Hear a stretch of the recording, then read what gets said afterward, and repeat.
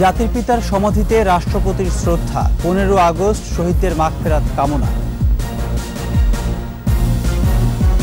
রাজশাহী সিটিতে ভোটের প্রচারে আওয়ামী লীগ, জাতীয় পার্টি, নীরব বিএনপি। কুষ্টিয়ায় চালকলের বিষাক্ত বর্জ্যে ফসলের ক্ষতি, বিভিন্ন রোগে ভুগছে শিশু, বয়স্করা।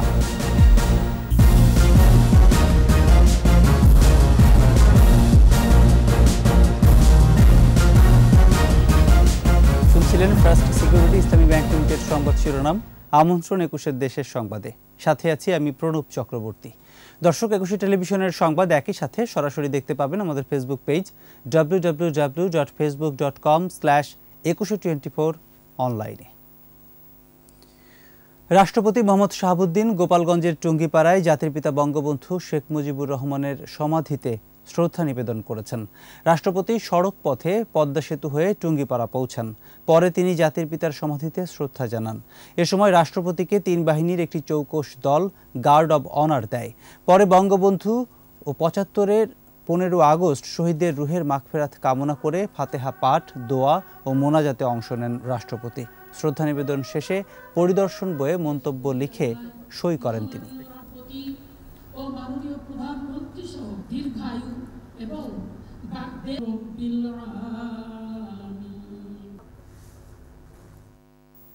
রাজশাহী সিটি কর্পোরেশনের ভোটের প্রচারণায় আওয়ামী লীগ ও জাতীয় পার্টির মেয়র প্রার্থীরা, গণসংযোগে বর্তমান কাউন্সিলর ও সম্ভাব্য প্রার্থীরাও নীরব শুধু বিএনপি। হাসান আল মবিনের ক্যামেরায় রাজশাহী বিভাগীয় প্রতিনিধি বদরুল হাসান লিটনের রিপোর্ট জানাচ্ছেন মাসুম আলিসা রাজশাহী সিটির একুশ জুনের নির্বাচনে মেয়র পদে চতুর্থবারের মতো আওয়ামী লীগের মনোনয়ন পেয়ে মাঠে নেমেছেন কেন্দ্রীয় সভাপতি মণ্ডলীর সদস্য দুইবারের mayor A H M Kamruzzaman Liton. Vote চাইছেন জাতীয় পার্টির প্রার্থী কেন্দ্রীয় ভাইস চেয়ারম্যান ও মহানগর সভাপতি সাইফুল ইসলাম স্বপনও। শুধু এই ইলেকশন না আমাদের সামনের ইলেকশনও যেটা আসবে সেটা তো সমঝোতা হবে না। আমরা তিনশো আসনে ইলেকশন দিয়েছি। এই নির্বাচন নিয়ে যেমন আমরা আশাবাদী পাশাপাশি নির্বাচন কীভাবে করব না করব সেগুলি এবং অন্যান্য যা যা করতে হয় করণীয় সবই আমরা করব ইনশাল্লাহ। পরিবেশ নেই দাবি করে দলীয় সিদ্ধান্তের তত্ত্বাবধায়ক সরকার ছাড়া নির্বাচনে যাবে না বলে জানান সাবেক মেয়র মোসাদ্দেক হোসেন বুলবুল। আর নির্বাচন থেকে নিজের জনপ্রিয়তা যাচাই করতে বিএনপিকে আহ্বান জানিয়েছেন আওয়ামী লীগের প্রার্থী। এখানে মরা মানুষ উঠে এসে ভোট দেয়। সেখানে নির্বাচন আমাদের গ্রহণযোগ্য নয়। আমরা এই নির্বাচন করব না। নানা রকম কৌশল অবলম্বন করে যে না বা আমরা প্রতীক দিলাম না কিন্তু বিএনপির এক নেতাকে বলা হলো যে তুমি নির্বাচন করো। বাঘ মার্কা নিয়ে বা ছাগল মার্কা নিয়ে একটা কিছু মার্কা নিয়ে কেউ দাঁড়িয়ে গেল দাঁড়িয়ে গেল। সেটা তাদের বিষয়। আমি মনে করি রাশিবাসী অন্তত এবার এবার কোনো ভুল করবে না। তিরিশটি ওয়ার্ডে গণসংযোগে নেমেছেন সম্ভাব্য কাউন্সিলর প্রার্থীরা যাদের অনেকেই বর্তমান কাউন্সিলর। মানুষের সাথে সর্বসময় কাজের মধ্যে আছি। কাজের মাধ্যমে নির্বাচনী কার্যক্রম আমাদের পরিচালিত হচ্ছে।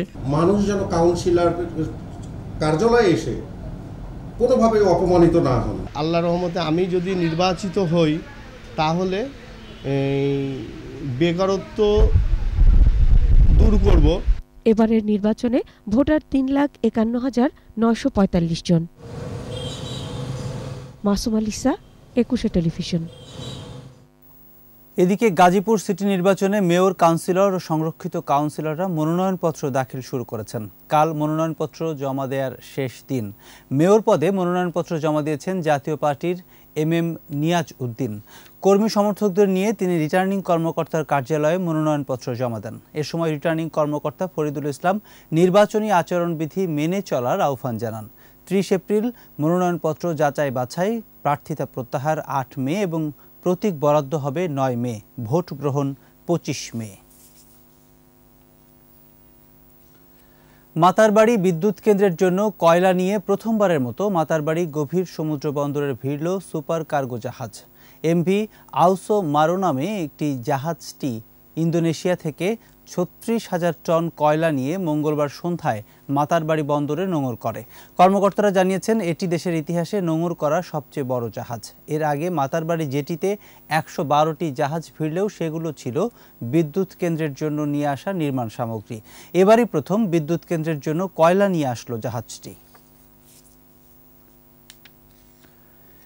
ঈদ উল ফিতর উপলক্ষে টানা পাঁচ দিনের ছুটি শেষে ব্রাহ্মণবাড়িয়ার আখাউড়া স্থলবন্দর দিয়ে আমদানি রপ্তানি কার্যক্রম শুরু হয়েছে। সকালে বাংলাদেশ থেকে মাছ, রড সহ বিভিন্ন পণ্য রপ্তানি শুরু হয়। এতে বন্দরে ফিরে, ফিরেছে কর্মচাঞ্চল্য। বন্দর কর্তৃপক্ষ বলছে, ছুটিকালীন সময়ে আমদানি রপ্তানি বন্ধ থাকলেও ইমিগ্রেশন চেকপোস্টে পাসপোর্টধারী যাত্রী চলাচল স্বাভাবিক ছিল।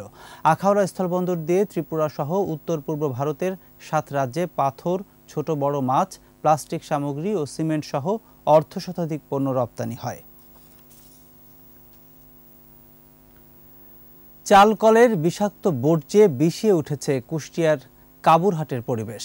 বাড়ি ঘর সহ ফসলি জমিতে বর্জ্য ছড়িয়ে ক্ষতি হচ্ছে সাধারণ মানুষের। সংশ্লিষ্টদের কাছে বারবার ধর্ণা দিয়েও কোনো ব্যবস্থা নেওয়া হয়নি বলে অভিযোগ তাদের। কুষ্টিয়া প্রতিনিধি জহুরুল ইসলামের রিপোর্ট জানাচ্ছেন রত্না জামান। অটোরাইস মিলের কেমিক্যাল মিশ্রিত বিষাক্ত পানিতে থই থই বাড়ির আঙিনা। পচা দুর্গন্ধযুক্ত এই পানি ঢুকে পড়ছে ফসলি জমিতেও। জীবন দুর্বিসহ কুষ্টিয়া শহরতলির কবুরহাট স্কুল পাড়ার বেশ কিছু পরিবারের।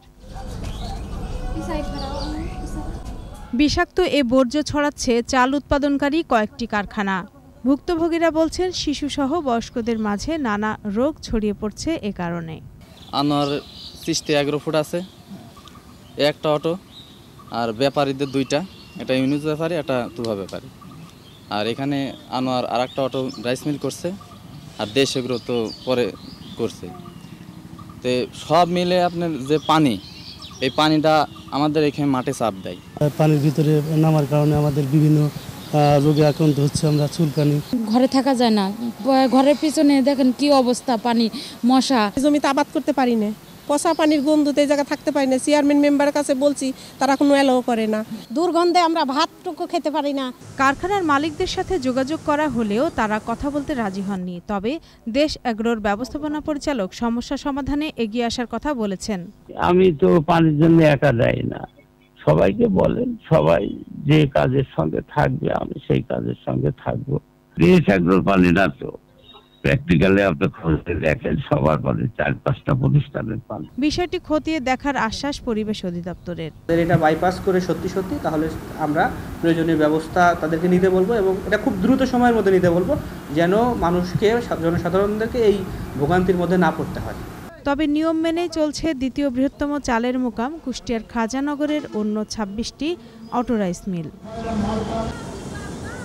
রত্না সামান একুশে টেলিভিশন। নিচ্ছে বিরতি, যখন ফিরব তখন থাকবে। উখিয়ায় ধরা পড়ল একুশ কেজি ক্রিস্টাল মেথের চালান হোতা সহ গ্রেপ্তার তিন। আবারও আমন্ত্রণ একুশের দেশের সংবাদে।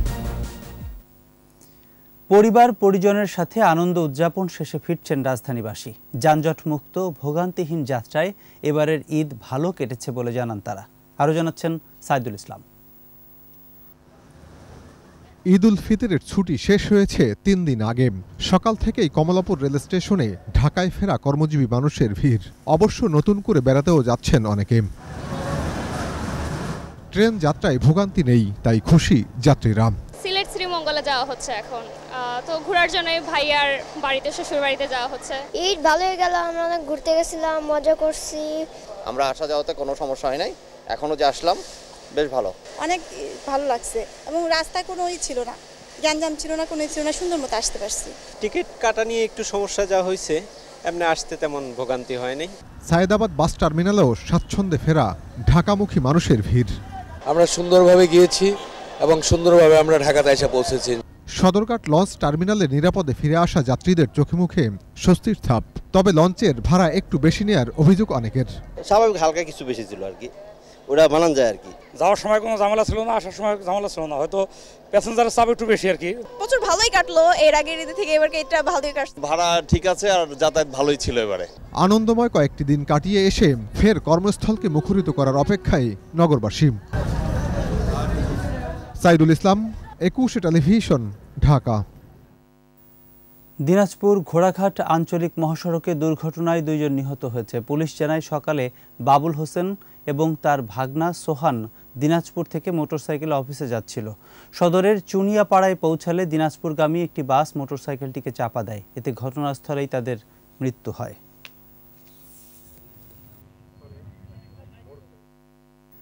লক্ষ্মীপুর জেলা যুবলীগের সাবেক সাধারণ সম্পাদক আবদুল্লাহ আল নোমান ও ছাত্রলীগ নেতা রাকিব ইমামকে গুলি করে হত্যা করেছে সন্ত্রাসীরা। সদর উপজেলার বশিকপুর ইউনিয়নের পোদ্দার বাজারে রাত দশটার দিকে তাদেরকে গুলি করে প্রতিপক্ষের লোকজন। এতে নোমান ঘটনাস্থলে এবং রাকিব হাসপাতালে নেওয়ার পথে মারা যান। ঘটনার প্রতিবাদে বিক্ষোভ মিছিল করেছে আওয়ামী লীগ ও সহযোগী সংগঠনের নেতাকর্মীরা। গোপালগঞ্জে চলছে চার দিনের বৈশাখী মেলা ও সাংস্কৃতিক অনুষ্ঠান। জেলা প্রশাসনের আয়োজনে এই মেলা চলবে আটাশ এপ্রিল পর্যন্ত। এতে ত্রিশটি স্টলে, মাটির তৈজসপত্র, কাপড়সহ দেশীয় পণ্য রয়েছে। প্রতিদিন সকাল দশটা থেকে রাত নটা পর্যন্ত মেলা খোলা থাকবে। মেলা উপলক্ষে পৌর পার্কের মুক্ত মঞ্চে জেলা শিল্পকলা একাডেমি ও জেলা শিশু একাডেমির শিল্পীরা সাংস্কৃতিক অনুষ্ঠান পরিবেশন করে।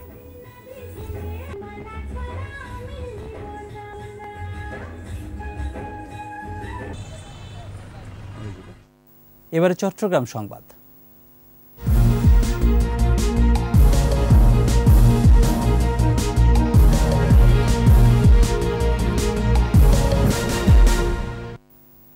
কক্সবাজারের উখিয়ার পালংখালী সীমান্ত এলাকা থেকে ২২ কেজি নিষিদ্ধ মাদক ক্রিস্টাল মেথ আইসের একটি চালান জব্দ করেছে বিজিবি। আটক করা হয়েছে তিনজনকে। এটি এখন পর্যন্ত জব্দ করা আইসের সবচেয়ে বড় চালান বলে দাবি করেছে বিজিবি।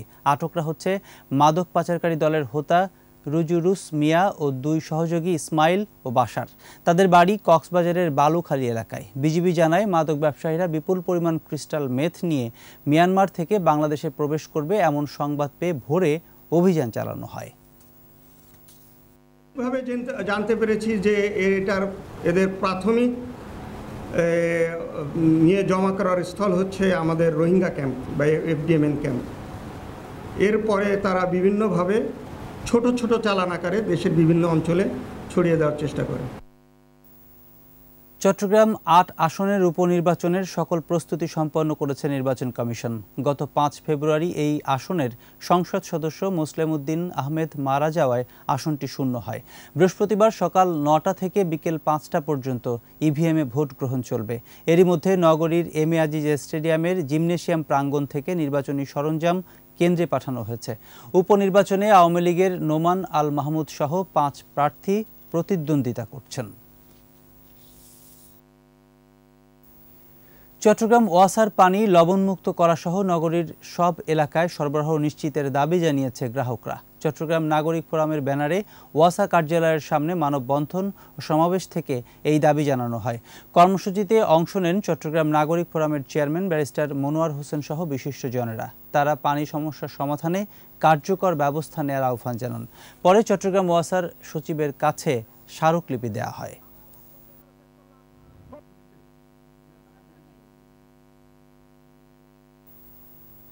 এরই সাথে শেষ করছে একুশে দেশের সংবাদ। যাবার আগে First Security Islami Bank Limited সংবাদ শিরোনামগুলো আরও একবার। জাতির পিতার সমাধিতে রাষ্ট্রপতির শ্রদ্ধা, পনেরো আগস্ট শহীদদের মাগফেরাত কামনা। রাজশাহী সিটিতে ভোটের প্রচারে আওয়ামী লীগ জাতীয় পার্টি, নীরব বিএনপি। কুষ্টিয়ায় চাল কলের বিষাক্ত বর্জ্যে ফসলের ক্ষতি, বিভিন্ন রোগে ভুগছে শিশু বয়স্করা।